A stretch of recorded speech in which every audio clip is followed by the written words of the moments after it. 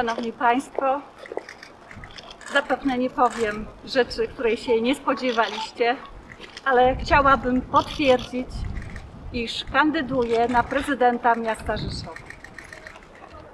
Zdecydowałam się, pomimo iż mam poparcie Prawa i Sprawiedliwości premiera Mateusza Morawieckiego, iż będę kandydować z własnego komitetu, komitetu Eweleni. Zapytacie Państwo, dlaczego? Otóż dlatego, drodzy Państwo, że bardzo zależy mi na tym, by do bliskiej współpracy nie tylko w czasie kampanii wyborczej, ale także w trakcie prezydentury zaprosić wszystkie środowiska, zwłaszcza te, które dotychczas były pomijane, których zdanie nie było brane w żaden sposób pod uwagę. Stąd, drodzy Państwo, bardzo serdecznie zapraszam do współpracy z kandydatem, a potem prezydentem Rze- Rzeszowa, Ewą Leniak, ekspertów, środowiska społeczników, rady osiedlowe i wszystkich ludzi, którzy zechcą włączyć się najpierw w dyskusję, a potem w realizację potrzeb miasta Rzeszowa. Drodzy Państwo, doskonale wiemy, że tych potrzeb w mieście Rzeszowie jest bardzo dużo.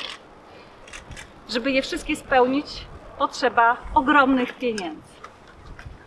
To ja, drodzy Państwo, jestem tą osobą, która nie tylko wie, gdzie można znaleźć pieniądze, ale także wie, jak po nie sięgnąć.